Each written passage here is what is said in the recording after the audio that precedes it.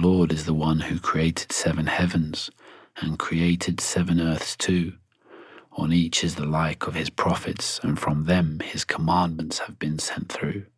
He is the Lord of all the worlds, and over all things he has power.